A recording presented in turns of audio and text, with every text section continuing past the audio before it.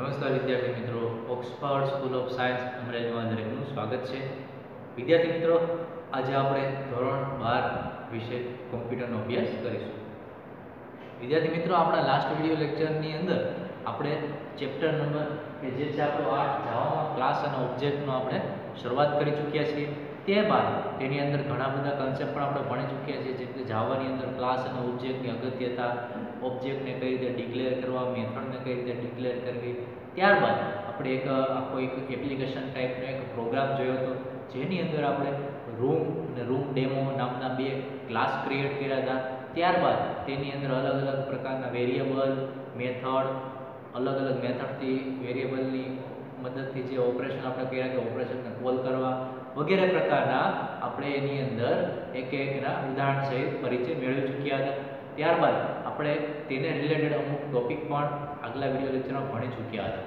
તો હવે next topic જે આપણા પાસે છે અત્યારે, એ છે મિત્રો ઇન્સ્ટન્ટ વેરિયેબલ અને ઇન્સ્ટન્સ મેથડ તો સામાન્ય રીતે આપણને એ તો ખ્યાલ છે કે વેરિયેબલ અને મેથડ કોને કહેવા જેને વેરિયેબલ આપણે ગુજરાતીમાં ચલ કહીએ છીએ, કે જે વન ટાઈપ ઓફ એટ્રીબ્યુટ એટલે કે એક એટ્રીબ્યુટનો એક ભાગ છે. જ્યારે આપણે જેને મેથડ કહીએ છીએ એ આપણા ક્લાસના બિહેવિયરનો એક ભાગ કહી શકાય, જે આપણે આગલા વીડિયો લેક્ચરમાં જોઈ ચૂક્યા હતા. તો કોને, કયા વેરિયેબલને ઇન્સ્ટન્સ વેરિયેબલ કહેવા અને કઈ મેથડને ઇન્સ્ટન્સ મેથડ કહેવી તો એના વિશેના ટોપિકમાં ચર્ચા કરવાની છે. વેરિયેબલ અને મેથડ શું છે આપણે ખ્યાલ છે? જેમ કે કોઈ ડેટા ટાઈપની મદદથી યુઝર ડિફાઇન એટલે કે યુઝર જે ધારે એ પ્રમાણે આપણે વેરિયેબલ ડિક્લેર કરી શકતા હોઈએ છીએ.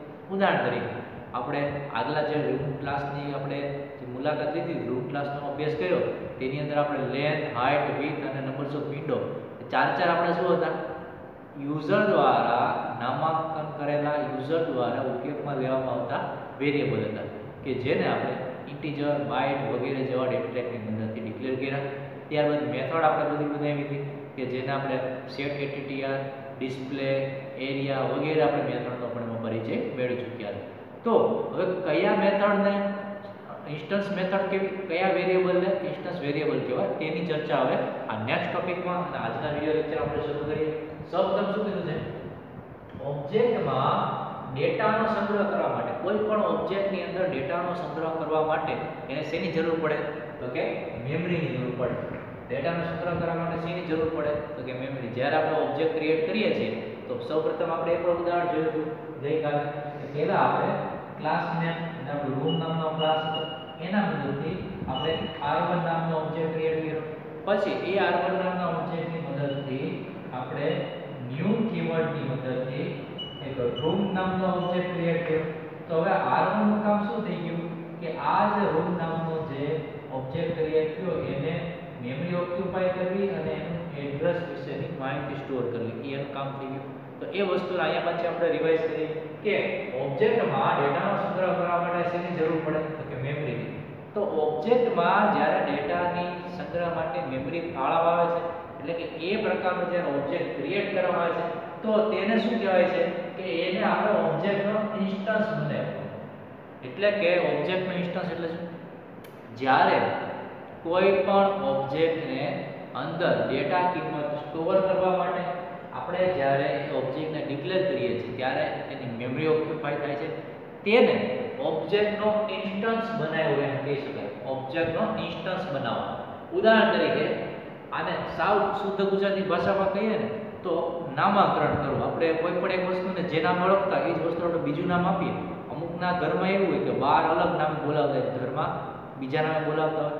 તો એ પદ્ધતિને ઉદાહરણ તરીકે આપણે ગણી શકીએ.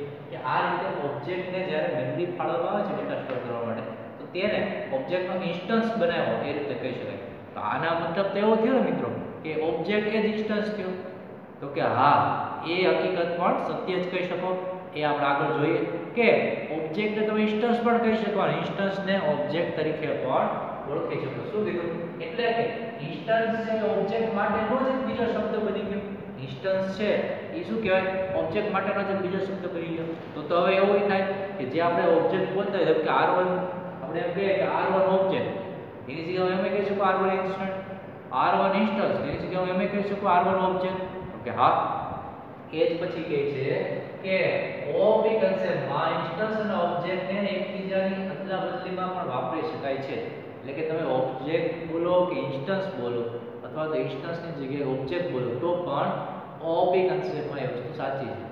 શું કામ? આપણે પહેલાં જ કીધું હતું કે આ જે ઓબ્જેક્ટ ને ક્લાસ કન્સેપ્ટ કોના માટે છે? ઓપી કન્સેપ્ટ માટે. પીઓપી કન્સેપ્ટમાં તો કે હતું જ નહીં ક્લાસ ઓબ્જેક્ટનો કન્સેપ્ટ બરોબર છે મિત્રો?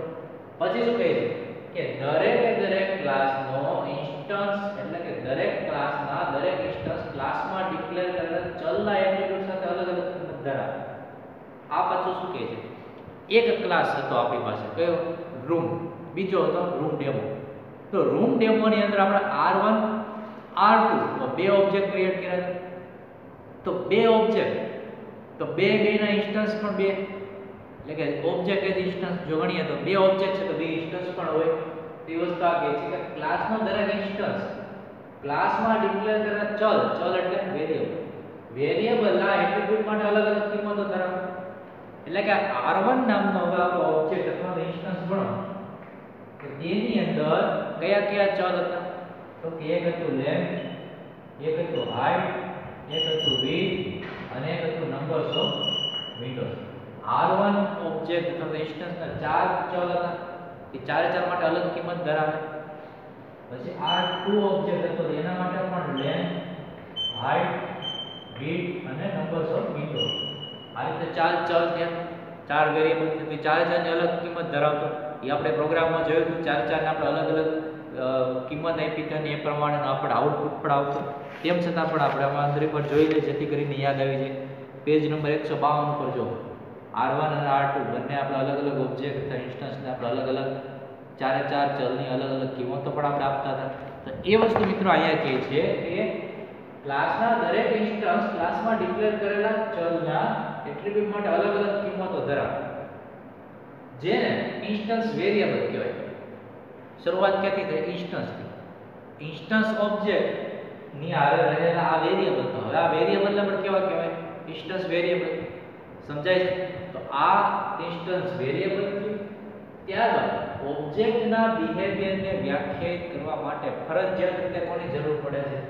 મેથડ એટલે કે આ આપણે જે ઓબ્જેક્ટ ક્રિએટ કરીએ છીએ, એનું બિહેવિયર એટલે કે R1 છે તો R1 પાસે આપણે શું ક્રિયા કરાવી છે? તે આપણે ગઈકાલે જે એક્ઝામ્પલ જોયું એમાં આપણે શું લખ્યું મિત્રો? R1 ડોટ ડિસ્પ્લે એટલે કે R1 માં રહેલી જે માહિતી છે, એને આપણે શું કરાવી છે? ડિસ્પ્લે કરાવી છે. એટલે કે ઓબ્જેક્ટના બિહેવિયરને આપણે શું કરાવવાનું હતું? વ્યાખ્યા આપણે વ્યાખ્યા કે અહીંયા શું કર્યું આપણે? હવે R1 આપણે ડિસ્પ્લે કરાવો છે. R1 માં જે હોય R1 માં કાંઈ નથી, એટલે કે ઝીરો માહિતી હોય તોય ડિસ્પ્લે કરાવો. માહિતી એટલે કે ડેટા છે, તોય ડિસ્પ્લે કરાવો. તો ડિસ્પ્લે નામની મેથડ વડે શું કહે છે કે ઓબ્જેક્ટના બિહેવિયરમાં વ્યાખ્યાયિત કરવા માટે ફરજિયાત શું જરૂર પડે? મેથડની આપણે ડિસ્પ્લે નામની મેથડ પણ બનાવી હતી. તો આ વસ્તુ કહેવા માંગે છે. જાવામાં મેથડને ક્લાસની અંદર જ વ્યાખ્યાયિત કરવામાં આવે. જાવામાં મુખ્ય શરત શું છે? જાવામાં કોઈ પણ મેથડને ક્લાસની અંદર જ ફરજિયાત ડિક્લેર કરી પડે તો વ્યાખ્યાયિત કર્યું ક્લાસની અંદર એટલે કે આ બ્રેકેટ ચાલુ થાય. આ બ્રેકેટ પૂર્ણ આ ક્લાસ આ સ્ટાર્ટ થયો અને શું થઈ ગયો એન્ડ થઈ ગયો. આ રીતે ફરજિયાત ક્લાસની અંદર જ વ્યાખ્યાયિત કરવામાં આવે છે. આ મેથડ વડે ઇન્સ્ટન્સ વેરિયેબલની કિંમત મેળવવા માટે કે બદલવા માટે ઓબ્જેક્ટનો ઉપયોગ થતો હોવાથી આ મેથડને પણ ઇન્સ્ટન્સ મેથડ કહેવાય. આ વસ્તુ સમજ. આ મેથડ એટલે કે ડિસ્પ્લે નામની મેથડ વડે ઇન્સ્ટન્સ આ શું છે? આપણો ઓબ્જેક્ટ એ ઓબ્જેક્ટમાં રહેલા વેરિયેબલ લેન્થ હાઈટ વિડ્થ અને વિન્ડો બરાબર? તો આ ઓબ્જેક્ટની આ મેથડ વડે આ વેરિયેબલની કિંમત મેળવવા માટે અથવા તેમાં ફેરફાર કરવા માટે આ મેથડનો ઉપયોગ થતો હોવાથી આ મેથડને કેવી કહેવામાં આવે છે? ઇન્સ્ટન્સ મેથડ હવે આપણો ટોપિક જો ઇન્સ્ટન્સ વેરિયેબલ અને ઇન્સ્ટન્સ મેથડ ખ્યાલ આવી ગયો મિત્રો? આ રીતે ઓબ્જેક્ટ ઇન્સ્ટન્સ વેરિયેબલ અને ઇન્સ્ટન્સ મેથડને આપણે ઓળખી શકીએ છીએ. પછી શું કહે છે? કે રૂમ ક્લાસ જે આપણે આગળના ક્લાસ હતો આપણે જે પ્રેક્ટિકલ આગળ કર્યો રૂમ ક્લાસ અને રૂમ ડેમો ક્લાસ તો એની અંદર આપણી પાસે જે અલગ અલગ જે પદાવલીઓ હતી એક્સપ્રેશન હતા, એમાંથી કયા કયા આપણા ઇન્સ્ટન્સ વેરિયેબલ ઇન્સ્ટન્સ મેથડ હતા. તો એની અંદર length height with numbers of window આ ચારે ચાર આપણા શું હતા? ઇન્સ્ટન્સ વેરિયેબલ જ્યારે ડિસ્પ્લે સેટ એટીટીઆર એરિયા એ આપણા શું હતા? ઇન્સ્ટન્સ મેથડ એ વસ્તુ અહીં કીધી છે. કે આ જે ચાર ચાર હતા, એ આપણા વેરિયેબલ હતા, આ આપણા મેથડ હતા. પછી આ પ્રકારે આ જે મેથડ છે, કઈ મેથડ ઇન્સ્ટન્સ મેથડ એને ઓબ્જેક્ટની સાથે કોલ કરવા માટે વચ્ચે શેની જરૂર પડે છે? ડોટની એટલે કે તેને કોલ કરવા માટે શેની જરૂર પડે? ડોટની જેમ કે ઉદાહરણ છે R1 ડોટ ડિસ્પ્લે જે આપણે જોયું. પ્રોગ્રામમાં પણ આપણે જોયું તો R1 dot display R2 dot display આપણે ત્રણ વાર કોલ કરાવી બરોબર છે? તો આ વસ્તુ અહીં કહેવા માંગે છે કે તેને, એટલે કે ઇસ્ટસ મેથડને ઓબ્જેક્ટની સાથે કોલ કરવા માટે શેની વચ્ચે જરૂર પડે છે? ડોટની. ડોટની મદદથી આઈડેન્ટિફાઈ કરશે કે ડાબી બાજુનો ભાગ ઓબ્જેક્ટ છે, જમણી બાજુનો ભાગ ડિસ્પ્લે એ આપણી મેથડ છે. એ એટલા માટે ડોટ વપરાય છે. બેને સેપરેટ પાડવા માટે. આ રીતે આપણે ઇન્સ્ટન્સ વેરિયેબલ અને ઇન્સ્ટન્સ મેથડનો કન્સેપ્ટ જોયો. હવે મિત્રો નેક્સ્ટ કન્સેપ્ટ શું કહે છે આપણને? જે રીતે આપણે ઇન્સ્ટન્સ વેરીએબલ જોઈએ ને એ રીતે આપણે જોવાનું છે ક્લાસ વેરીએબલ અને આ જે ઇન્સ્ટન્સ મેથડ હતી એવી રીતે આવશે ક્લાસ મેથડ હવે પહેલા તો આપણે ચેપ્ટરની શરૂઆત કરી દીધી એટલે વેરીએબલ અને મેથડ બે જોઈએ. આજે ઇન્સ્ટન્સ વેરીએબલ અને ઇન્સ્ટન્સ મેથડ જોઈએ. કે જે મહદ અંશે તો વેરીએબલ કયો કે ઇન્સ્ટન્સ વેરીએબલ કયો મેથડ કયો કે ઇન્સ્ટન્સ મેથડ કયો. લગભગ તો 80% પોર્શન બેનો સેમ જ છે. પરંતુ, હવે જે ત્રીજો કન્સેપ્ટ આપણી પાસે આવશે ક્લાસ વેરિયેબલ અને ક્લાસ મેથડ જે આની કરતાં એકદમ અલગ પડે છે. જેથી કરીને થોડુંક ડિફરન્સ છે. વ્યવસ્થિત સમજીએ મિત્રો. સૌપ્રથમ શું કહે છે? દરેક ઓબ્જેક્ટના ઇન્સ્ટન્સ વેરિયેબલ મેમરીમાં અલગ અલગ જગ્યા રહે ઉદાહરણ તરીકે આપણે ઓબ્જેક્ટ છે R1 તો એના કેટલા છે? લેન્થ હાઇટ વિડ્થ અને ન્યુ વિડો તો આ ચારે ચારની અંદર જ્યારે માહિતી આપવામાં આવે છે, કેવી માહિતી હતી મિત્રો? ફ્લોટ ડેટા ટાઈપની તો ફ્લોટ ડેટા ટાઈપની જે મેમરી રોકવાની ક્ષમતા હોય, ધારો કે ચાર ચાર બાઇટ રોકે, તો ચાર દો આઠ આઠ બાર પચું કે સોળ તો કે આ જે R1 નામનો આપણો જે ઓબ્જેક્ટ છે, તો એ ટોટલ એના બધા વેરિયેબલ થઈને કેટલી મેમરી રોકશે તો કે 16 બાઇટ આમે પાછું કેટલું થશે? 16 બાઇટ તો એ વસ્તુ આ કહે છે કે દરેક ઓબ્જેક્ટના એટલે કે R1 અને R2 ના ઇન્સ્ટન્સ વેરિયેબલ એટલે કે આ લેન્થ હાઇટ વિડ્થ અને ન્યુ વિન્ડો મેમરીમાં અલગ અલગ જગ્યા રોકે છે, કારણ કે ચારે ચારનું અસ્તિત્વ જ અલગ થઈ ગયું છે, તો અલગ અલગ જગ્યાઓ રોકતા હોય છે. ધારો કે ક્લાસના બધા જ રૂમ ઓબ્જેક્ટ ક્લાસની અંદર આપણે જેટલા રૂમ ઓબ્જેક્ટ કર્યા હતા R1 ડોટ R1 ની મદદથી આપણે ન્યુ રૂમ ઓબ્જેક્ટ બનાવ્યો હતો. એવી રીતે આપણે R2 ની મદદથી ન્યુ રૂમ ઓબ્જેક્ટ બનાવ્યો તો બે રૂમ નામના ઓબ્જેક્ટ બનાવ્યા હતા મિત્રો. તો એવા જેટલા ધારો કે આપણી પાસે એવા પાંચ રૂમ ઓબ્જેક્ટ છે, તો ક્લાસના બધા જેટલા રૂમ ઓબ્જેક્ટ હોય, એ વિન્ડોઝની સંખ્યા જાણવી હોય. ધારો કે R1 ના રૂમ ઓબ્જેક્ટની અંદર કેટલી વિન્ડોની સંખ્યા છે? R2 નો જે રૂમ ઓબ્જેક્ટ છે, એમાં કેટલી છે? R3 માં કેટલી છે? R4 માં કેટલી છે? R5 માં કેટલી આ પાંચે પાંચના રૂમ ઓબ્જેક્ટમાં રહેલી વિન્ડોની સંખ્યામાં ટોટલ જાણવું છે. પહેલામાં બે છે, બીજામાં એક છે, ત્રીજામાં એક છે. ધારો કે ટોટલ આપણી પાસે આઠ વિન્ડો છે. ટોટલ મારે રૂમ ઓબ્જેક્ટનું આપણે વિન્ડોની સંખ્યા જાણીશ ઉદાહરણ તરીકે, આપણો એક ક્લાસરૂમ છે અંદર ચાર વિન્ડો R2 નામનો ક્લાસ છે, એમાં ત્રણ વિન્ડો પાછું R4 નામનો ક્લાસ એ મોટો છે અંદર છ વિન્ડો એવી રીતે અહીંયા આપણે અલગ અલગ ઓબ્જેક્ટ જે ક્રિએટ કર્યા હતા, એ વસ્તુ અહીંયા આપણે કહી શકીએ કે ક્લાસના બધા જ ઓબ્જેક્ટના વિન્ડોની સંખ્યા જાણવી હોય તો શું કરવું પડે? તો આવી રીતે અલગ અલગ અલગ અલગ ઓબ્જેક્ટ ક્રિએટ કરવાની જગ્યાએ સમગ્ર ક્લાસ દીઠ એટલે કે આખા ક્લાસ દીઠ આપણે શું કરવાનું? એક જ વેરિયેબલ ડિક્લેર કરવાનું. એક જ વેરિયેબલ આવે જે આખી આખા ક્લાસની દરેકે દરેક ઓબ્જેક્ટની અંદર રહેલી વિન્ડોની સંખ્યા જણાવી એક જ વેરિયેબલ આપણે એમ કહીએ સેકન્ડ ફ્લોરની ઉપર રહેલા દરેકે દરેક ક્લાસરૂમની વિન્ડોની સંખ્યા કહી દે. ઓલું આપણે R1 R2 R3 એની રીતે રૂમ વાઇઝ વિન્ડોની સંખ્યા ગણી પડી. ઓલી એક આર ગણી લે. તો એ વસ્તુ એ કહે છે કે સમગ્ર ક્લાસ દીઠ એટલે કે અહીંયા આપણે શું કરતા? એક એક અલગ અલગ ઓબ્જેક્ટ ક્રિએટ કરતા. એની જગ્યાએ એક જ વેરિયેબલ ક્રિએટ કરવાનો જે આખા ક્લાસનો વેરિયેબલ છે. નહીં કે કોઈ ઓબ્જેક્ટનો R1 નો અલગ વેરિયેબલ R2 નો અલગ વેરિયેબલ R3 નો અલગ એવું નહીં. સમગ્ર ક્લાસ દીઠ એક જ વેરિયેબલ તો એ ક્લાસ દીઠ બનતો મુખ્ય વેરિયેબલ હતો, એક જ વેરિયેબલ જેને કહેવામાં આવે છે ક્લાસ વેરિયેબલ અને આ ક્લાસ વેરિયેબલની મદદથી જે મેથડનો યુઝ કરવામાં આવે, એ મેથડ છે. અહીંયા આપણે ઇન્સ્ટન્સ મેથડ કહેતા. એ રીતે ક્લાસ વેરિયેબલની મદદથી જે મેથડનો યુઝ કરવામાં આવે, એ મેથડને કહેવાય ક્લાસ મેથડ ક્લિયર મિત્રો? પરિવાર સમજી લઈએ આગલા જે ઉદાહરણની અંદર આપણે શું કીધું? દરેક દરેક ઓબ્જેક્ટના ઇન્સ્ટન્સ એટલે કે r1 ના ઇન્સ્ટન્સ r2 ના ઇન્સ્ટન્સ એવી રીતે r3 ના r4 ના r5 ના પાંચ આપણી પાસે ઓબ્જેક્ટ છે, તો પાંચે પાંચના ઇન્સ્ટન્સ છે, એ મેમરીમાં અલગ અલગ જગ્યા રાખે. પરંતુ હવે મારે શું કરવું છે? પાંચે પાંચ ઓબ્જેક્ટમાં રહેલી નંબર્સ ઓફ વિન્ડોની સંખ્યા જાણવી છે તો આપણે શું કરશું? આખા પ્રોગ્રામ દીઠ, આખો આપણો જે ક્લાસ ક્રિએટ કર્યો તેની જગ્યાએ પાંચ ઓબ્જેક્ટ એક જ એવો ઓબ્જેક્ટ રાખો કે જે આ બધાની અંદર રહેલી વિન્ડોની સંખ્યા મને જાણી લેશે. તો એ મુખ્ય ઓબ્જેક્ટ જે કોનો છે? ક્લાસનો ઓબ્જેક્ટ છે. એટલે એ ઓબ્જેક્ટ એ વેરિયેબલને કેવો કહેવાય? ક્લાસ વેરિયેબલ કહેવાય. જે વેરિયેબલ મને દરેક ઓબ્જેક્ટની અંદર રહેલી નંબર્સ ઓફ વિન્ડોની સંખ્યા જાણી દેશે તો ક્લાસનો વેરિયેબલ હોવાથી અને મુખ્ય વેરિયેબલ તરીકે ડિક્લેર કર્યો. હોવાથી એને ક્લાસ વેરિયેબલ કહેવાય. આ જે ક્લાસ વેરિયેબલને ઉપયોગ કરીને જે મેથડનો આપણે ઉપયોગ કરીએ એ મેથડને કહેવાય ક્લાસ ક્લિયર પછી શું કહે છે? આ વેરિયેબલ કોઈ ઓબ્જેક્ટનો નહીં, એટલે કે હવે જે આ મુખ્ય વેરિયેબલ બનશે, એ કોઈ ઓબ્જેક્ટનો વેરિયેબલ નથી. એ કોનો વેરિયેબલ છે? ક્લાસનો વેરિયેબલ એટલે કે રૂમ નામનો ક્લાસ છે, હવે ક્લાસનો વેરિયેબલ થશે. બરાબર?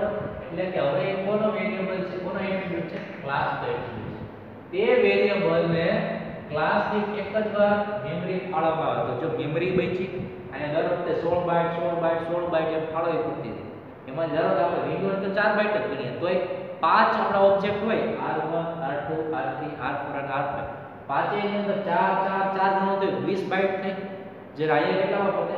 1000 મેમરી ફાળવવા એટલે ખાલી 4 બાઇટ પતે. એ પણ ફાયદો થયો.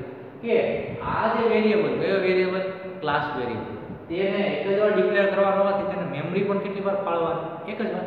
જેટલી વાર ડિક્લેર કરીએ એટલી વાર મેમરી ફાળવી પડે. આપણે એમ કીધું કે ડિક્લેર જ એક જ વાર કરવો, તો મેમરી કેટલી વાર હોય? એક જ વાર હોય. પછી શું કીધું છે? આ જે ક્લાસ વેરિયેબલને ડિક્લેર કરીએ, તેને કાંઈક તો અલગ પાડવો પડે ને તો આપણને ખબર પડે કે ક્લાસ વેરિયેબલ છે. તો તેની આગળ કીવર્ડ લગાડવા આવે છે સ્ટેટિક કીવર્ડ સ્ટેટિક કીવર્ડ ધરાવવાથી આપણે ખબર પડે કે આ ક્લાસ વેરિયેબલ છે. ઉદાહરણ લઈએ. સ્ટેટિક કીવર્ડ પછી ડેટા ટાઈપ ઇન્ટીજર અને અહીંયા આપણે n વિન્ડો હતું. અહીંયા આપણે n વિન્ડોની જગ્યાએ શું લખશું હવે? આ તો નંબર્સ ઓફ વિન્ડો દરેકે દરેક રૂમ વાઇઝ દરેકે દરેક ઓબ્જેક્ટ વાઇઝની વિન્ડો જ્યારે આપણે ટોટલ વિન્ડો લેવાના હોવાથી આપણે જે નો ઓબ્જેક્ટ ક્રિએટ નો વેરિયેબલ ક્રિએટ કરીને નામ આપી દીધું. TOT વિન્ડોઝ એટલે કે ટોટલ વિન્ડોઝ તો જેની આગળ આ કીવર્ડ હશે સ્ટેટિક આપણે સમજી શકીએ કે આ વેરિયેબલ છે કેવો છે? ક્લાસ વેરિયેબલ છે. એની જગ્યાએ બાજુમાં આ રીતે લખેલું ઇન્ટીજર એ આપણે સમજી શકીએ. ખાલી ઇન્ટીજર એટ વિન્ડો લખ્યું તો નંબર્સ ઓફ વિન્ડો તો આ ક્લાસ વેરિયેબલ નહીં હોય, આ કેવો હશે? ઇન્સ્ટન્સ વેરિયેબલ અથવા તો સાદો વેરિયેબલ પરંતુ જો આગળ કીવર્ડ લખ્યો સ્ટેટિક તો એ કેવો હશે? ક્લાસ વેરિયેબલ જેમ આપણને ઓળખવા માટે જરૂર પડે સિસ્ટમને ઓળખવું પડે ને કે આપણે એવું કીધું કે કમ્પાઇલર છે આપણા દ્વારા આપવામાં આવતા સૂચનોનો અમલ કરીને આપણને પરિણામ આપે. કમ્પાઇલર પાસે કંઈ આપણી જે વિચારવાની શક્તિ તો છે તો એને પણ આઈડેન્ટિફાઈ કરવા માટે આપણે આ રીતે કહી શકીએ કે સ્ટેટિક કીવર્ડ વાળો જો વેરિયેબલ ડિક્લેર કરેલો છે તે ક્લાસ વેરિયેબલ થઈ ગયો. સ્ટેટિક કીવર્ડ વગરનો વેરિયેબલ છે કેવો? ઇન્સ્ટન્સ વેરિયેબલ થઈ ગયો અથવા સાદો વેરિયેબલ બરાબર છે? પછી શું કહે છે? કે ક્લાસ વેરિયેબલને જે મેથડ વડે કોલ કરવામાં આવે એ મેથડને ક્લાસ મેથડ કહેવાય. તેની આગળ પણ સ્ટેટિક કીવર્ડ લગાડો. તો આપણને ખબર પડે કે એ જે ઇન્સ્ટન્સ મેથડ છે, કે ક્લાસ મેથડ છે, બરોબર? તો એને પણ સ્ટેટિક કીવર્ડ પછી વોઇડ અને પછી મેથડ નામ ડિસ્પ્લે ટોટલ વિન્ડોઝ આ રીતે આપણે જે ક્લાસ વેરિયેબલની જે મેથડ પણ ડિક્લેર કરીએ છીએ, એ મેથડની આગળ પણ સ્ટેટિક કીવર્ડ લગાડો. હવે જો જાવાના જેટલા પ્રોગ્રામ ચાલુ કર્યા ને, એમાં આપણે કીધું હતું કે દરેક ક્લાસ દીઠ ફરજિયાત એક મેઇન મેથડ હોય. અને મેઇન મેથડ આપણે લખતા તેની આપણે એક શબ્દ આવતો public static void main main નામની આપણી મેથડ હતી. વોઇડ એ ડેટા ટાઈપ છે, જેનો આપણે આગળ લેક્ચર પરિચય મેળવ્યો. હવે એક આગળ આવો કરો પાછો આવ્યો સ્ટેટિક અને હવે પબ્લિક બે આપણા માટે શબ્દ અજાણ્યા ગયા. પબ્લિક હમણાં આગળ આવશે, ત્યારે સમજશું. અત્યારે આપણે સ્ટેટિક ઉપર ફોકસ કરીએ. હવે જો એ સ્ટેટિક અને આ સ્ટેટિક હવે મેળ આવે છે મિત્રો? તો કે એ પણ મેથડ છે, પરંતુ કોની મેથડ છે? ક્લાસની મેથડ. જેથી કરીને એની આગળ પણ કયો કીવર્ડ લાગે છે? સ્ટેટિક હવે જો દરેકે દરેક આગલા પ્રોગ્રામમાં જો પબ્લિક સ્ટેટિક વોઇડ મેઇન એવું લખેલું છે કે ડાયરેક્ટ મેઇન મેથડ ચાલુ નહીં થાય. આગળ ફરજિયાત સ્ટેટિક કીવર્ડ છે જેથી કરીને મેઇન મેથડ પણ કેવી છે? ક્લાસ મેથડ છે. તેથી એની આગળ પણ સ્ટેટિક કીવર્ડ આપણે આગલા લેક્ચરોમાં જે જે પ્રોગ્રામ જોયા, અત્યાર સુધીમાં બધા આગળ સ્ટેટિક કીવર્ડ મેઇન મેથડમાં વાપરીએ છીએ. હવે ખ્યાલ આવી ગયો મિત્રો કે ઇન્સ્ટન્સ વેરિયેબલ કોને કહેવાય? ઇન્સ્ટન્સ મેથડ કોને કહેવાય? ક્લાસ વેરિયેબલ કોને કહેવાય? ક્લાસ મેથડ કોને કહેવાય? હવે શું કરવાનું છે? કે આ બધા જે ટોપિક જોયા, એ આપણા બેઝિક ખ્યાલો હતા. આપણા જાવા પ્રોગ્રામના ક્લાસના ઓબ્જેક્ટ ચેપ્ટરના બેઝિક ખ્યાલો હતા હવે આપણે મૂળ એવા બધા ટોપિક ઉપર જઈએ કે જે જાવા લેંગ્વેજના આમ જોવા જઈએ તો ઓપી કન્સેપ્ટના પરંતુ જાવા લેંગ્વેજની અંદર તેનો ઉપયોગ થઈ શકે અને જાવા લેંગ્વેજના ફાયદા મિત્રો ઓપી કન્સેપ્ટ ભણ્યા હતા ત્યારે આપણે અલગ અલગ તમને થોડું યાદ હોય તો પોલિમોર્ફિઝમ ઇનહેરિટન્સ પછી ડેટા એબ્સ્ટ્રેક્શન એવા ટોપિક આપણે આગલા ચેપ્ટરમાં ભણેલા છે. એ જ વસ્તુ આપણે હવે શેની અંદર ભણવાની છે? જાવાની અંદર. ત્યારે શેમાં ભણ્યા હતા? ઓપી કન્સેપ્ટ ઓપી કન્સેપ્ટ એટલે તેમાં બધી લેંગ્વેજ આવી ગઈ. સી પ્લસ પ્લસ આવે જાવા આવે ડોટ નેટ આવે પીએચપી આવે એક્સેટ્રા કોઈ પણ ઓપી કન્સેપ્ટમાં બનેલી લેંગ્વેજમાં એ ટોપિક કવર થતા હતા. અત્યારે આપણે શું ભણીએ છીએ? જાવા જેથી કરીને અત્યારે આપણે જે પોઈન્ટ ઉપર જઈ રહ્યા છીએ, એ કોના રિલેટેડ હશે? ફક્ત ફક્ત જાવા રિલેટેડ તો હવે એ જ માની લો એક ટોપિક પરંતુ હવે જાવાની દ્રષ્ટિએ ભણવાનો છે, એવો ટોપિક છે પોલીમોર્ફિઝમ જેનું બીજું એક નામ આપણે મેથડ ઓવરલોડિંગ પણ આપ્યું. હવે એનો આપણે અભ્યાસ કરીએ. સૌપ્રથમ શું કીધું છે? પોલી એટલે વધારે. એક કરતાં વધારે. આ રોમન શબ્દો છે. મોનો અને ડાય અને ટેટ્રા, ટ્રાય, ટેટ્રા, પેટા એજા એવી રીતે આખી. પોલી એટલે બહુ ગુણવત્તા વધારે જથ્થો દેખાડો. એક વ્યક્તિ આવતો હોય તો આપણે એને એક કહી શકીએ. પરંતુ આપણું ટોળું આવતું હોય તો અનેક તો એને પોલી એટલે કે શબ્દ છે પોલિમોર્ફિઝમ જેમાં એક જ નામના અલગ અલગ સ્વરૂપ એક કરતાં વધારે સ્વરૂપના બહુરૂપતા હોય, તો એને આપણે પોલિમોર્ફિઝમ કહેતા હોય. એટલે કે એક જ નામના એક કરતાં વધારે વેરિયેબલ હોય. તો એને કહેવાય છે વેરિયેબલ ઓવરલોડિંગ એક જ નામના એક કરતાં વધારે ફંક્શન હોય, એને આપણે ફંક્શન ઓવરલોડિંગ કહેતા. એક જ નામની એક કરતાં વધારે મેથડ હોય, તો એને આપણે શું કહીએ છીએ? મેથડ ઓવરલોડિંગ બરાબર છે? તો એ વસ્તુ શું કહે છે? એક જ નામ મળે પરંતુ અલગ અલગ પેરામીટર વાળી મેથડ હોય તો તેને મેથડ ઓવરલોડિંગ કહેવામાં આવે? છે ઉદાહરણ આપણા બુકમાં આપ્યું છે. મેથડનું નામ કેવું છે? સમાન, એક જ નામની મેથડ. પરંતુ તેના દ્વારા થતા પરિણામો અલગ અલગ છે. આપણે ઉદાહરણ લઈએ તો વ્યવસ્થિત સમજશું હવે જ્યારે સ્ટેટિક કીવર્ડ યુઝ કર્યો, તો આ મેથડ કેવી હશે મિત્રો? ઇન્સ્ટન્સ મેથડ હશે કે ક્લાસ મેથડ તો કે ઓબ્વિયસલી ક્લાસ મેથડ હશે. શું કામ? તો કે આગળ આપણે એનો અભ્યાસ કર્યો. ઇન્ટીજર ડેટા ટાઈપ મેક્સ આ શું થઈ ગયું આપણું? મેથડનું નામ. એ મેક્સ નામની એક મેથડ છે. ઈ મેથડની અંદર આર્ગ્યુમેન્ટ એટલે કે આર્ગ્યુમેન્ટ કયો પેરામીટર કયો કે કોઈ પણ વસ્તુ કે આ એક જ છે. બરોબર? પ્રાચલ કયો. ઇન્ટીજર x અને ઇન્ટીજર y એટલે કે આની અંદર બે વેલ્યુ આપવામાં આવશે. x અને y નામના વેરિયેબલને બે વેલ્યુ આપવામાં આવશે. જેનું સ્વરૂપ કેવું હશે? ઇન્ટીજર પછી એનો તમે સરવાળો કરો, બાદબાકી કરો ભાગાકાર ગુણાકાર કરો, જે કરવું હોય, ત્યાં બે બ્રેકેટની વચ્ચે આપણે લખી શકીએ. બરાબર? ધારો કે અહીંયા લખીએ છીએ x y, કે જે લખવું હોય એક્સેટ્રા બરાબર? આ એક મેથડ હવે મેથડ નંબર 2 એની અંદર પાછો static keyword integer data type maths method આ મેથડ આ મેથડનું નામ કેવું છે? એક જ છે. શું કીધું છે? એક જ નામ. પણ અનેક સ્વરૂપ, જો. આની અંદર બે આપણે આર્ગ્યુમેન્ટ તરીકે અથવા તો બે પેરામીટર પાસ કર્યા. Integer x integer y. અહીંયા શું કહેવાય integer x integer y integer z. ત્રણ વેરિયેબલ ત્રણ પેરામીટર પાસ કર્યા. પછી એની અંદર તમારે જે લખવું આ રીતે. એ આપણે શોર્ટ ફોર્મમાં દર્શાવી દીધું છે.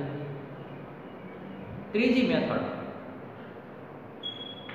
સ્ટેટિક આપણે લેટર ચેન્જ કર્યો ડબલ લીધી.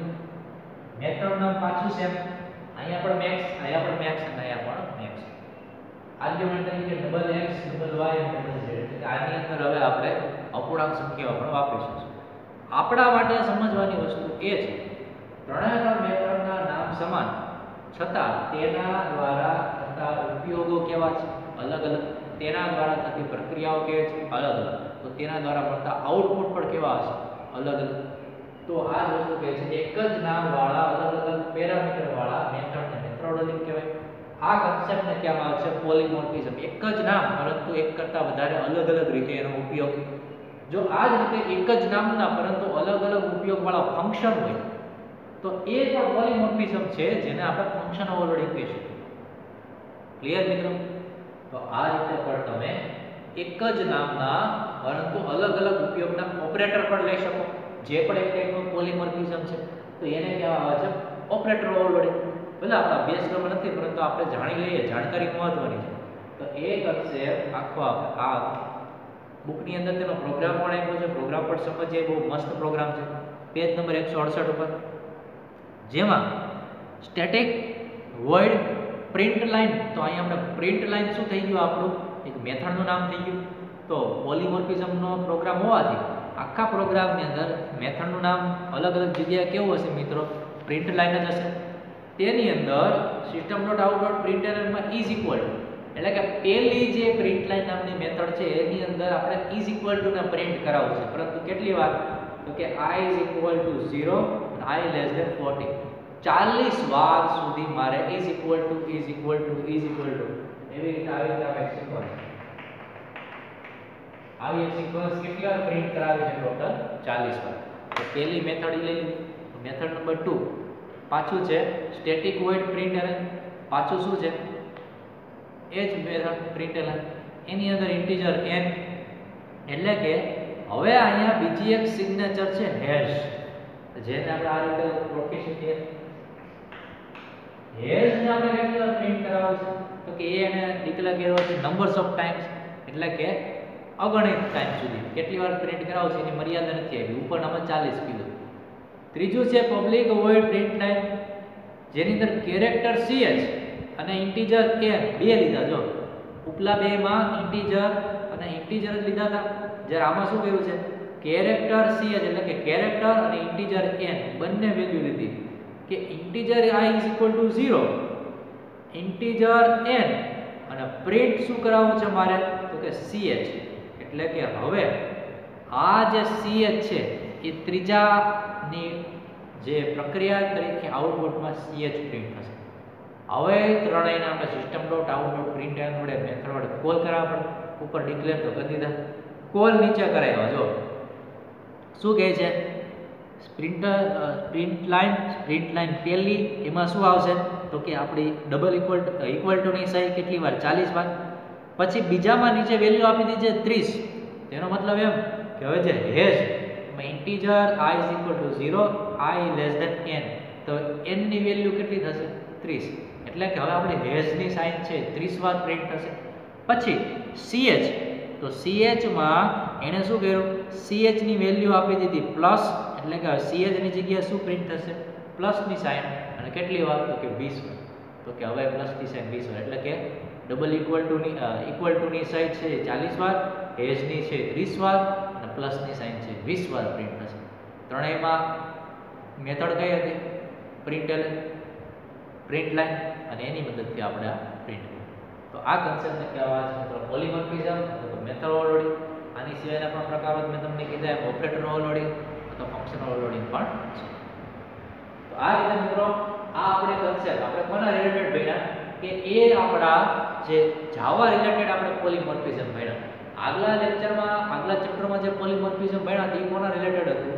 તો કે આપણા જે ઓપી કન્સેપ્ટ એના રિલેટેડ એ સિવાયના જે ત્યારે આપણે જે ટોપિક ભણ્યા હતા ઇન્કેપ્સ્યુલેશન ડેટા એબ્સ્ટ્રેક્શન વગેરે પણ આપણે આ ચેપ્ટરમાં ભણવાના છે. પરંતુ કોને રિલેટેડ તો કે જાવા લેંગ્વેજ રિલેટેડ આની પછીનો એક નેક્સ્ટ ટોપિક આવે છે કન્સ્ટ્રક્ટર તો એનો પણ આપણે અભ્યાસ કરવાનો છે. પરંતુ કોના રિલેટેડ કે જાવા રિલેટેડ આના સિવાય તમને ગઈકાલના લેક્ચર આપણે કીધું કે ટોપિક હતો ગાર્બેજ કલેક્શન જાવા લેંગ્વેજનો મોટા મોટો ફાયદો કે આવા જે ઓબ્જેક્ટ મદદથી અહીંયા સોળ બાય ફાઈવ અહીંયા સોળ બાય ફાઈવ એવી રીતે જે મેમરી ઓક્યુપાય કરી દીધી હોય, તો એની પ્રક્રિયા પૂર્ણ થઈ ગયા બાદ જ્યારે એવું જણાય કે આની હવે કોઈ જરૂરિયાત છે નહીં, તો સોળ બાય સાવ કટોકટી રોકેલી પડી. એ ઉપયોગમાં પણ નથી આવતી અને ખોટે ખોટે વેસ્ટ જાય. તો એના માટેનો કન્સેપ્ટ આપણે ગઈકાલે જોયો હતો ગાર્બેજ કલેક્શન ગાર્બેજ એટલે કચરો કલેક્શન એટલે ભેગું કરવું. તો ગાર્બેજ કલેક્શન ટેકનિક મદદથી આને જે 16 બાઇટ ફાળો આવી છે એ મેમરીને હવે શું કરી દેશે? તો કે ફ્રી કરી દેશે અને મુખ્ય મેમરીની અંદર 16 બાઇટને ભેળવી દેશે. એટલે કે આ મેમરી હવે ફ્રી થઈ જશે અને નવો કોઈ ઓબ્જેક્ટ મેં બનાવો છું, ધારો કે આપણે અહીંયા R6 નામનો ઓબ્જેક્ટ બનાવ્યો, તેને મેમરી હવે ફાળવી શકાય. જ્યારે તમે પાછો આ આ ઓબ્જેક્ટ પર પ્રક્રિયા કરવા માંગો છો, તો આ ઓબ્જેક્ટને પાછી નવી મેમરી પણ ફાળવવામાં આવે છે. એટલે એવું નહીં કે હવે આનો ઉપયોગ જ ન થાય. આ ગયું કામથી એવું નથી. તેને અલગથી પાછી મેમરી ફાળવવા હતું. ક્યારે? જ્યારે તેનો ઉપયોગ આવે ત્યારે. તો એક ગાર્બેજ કલેક્શન એક બહુ જ અગત્યનો જવાનો જે કન્સેપ્ટ છે કે તેના વડે વધારાની મેમરી અથવા તો અનઉપયોગી મેમરી અનયુઝડ મેમરી જેને આપણે શકીએ, તેનો આપણે વેસ્ટ જવા દીધા વગર યોગ્ય ઉપયોગ કરી શકીએ છીએ અને જેથી કરીને આપણે મેમરીનો શોર્ટેજનો કે મેમરી વેસ્ટનો આપણે જેમાં રિસ્ક ઊભું થાય જતું નથી. બીજી લેંગ્વેજમાં આ વસ્તુ નથી મિત્રો. જાવા લેંગ્વેજમાં આ નવો ટોપિક આવ્યો છે ગાર્બેજ કલેક્શન વિદ્યાર્થી મિત્રો, આ ટોપિકની પણ આપણે ચર્ચા પૂર્ણ કરી આજના લેક્ચરમાં આપણે instance variable instance method class variable class method પછી તો કે પોલિમોર્ફિઝમ જેને મેથડોલોજી કહી શકીએ, તેનો પણ પરિચય મેળવો. તો આ સાથે આજનો વીડિયો લેક્ચર અહીં પૂર્ણ કરીએ. નવા વિડિયો લેક્ચરમાં કન્સ્ટ્રક્શન સાથેના નવા નવા ટોપિક સાથે ફરીવાર મળીશું. ત્યાં સુધી દરેક વિદ્યાર્થી મિત્રોનો આભાર.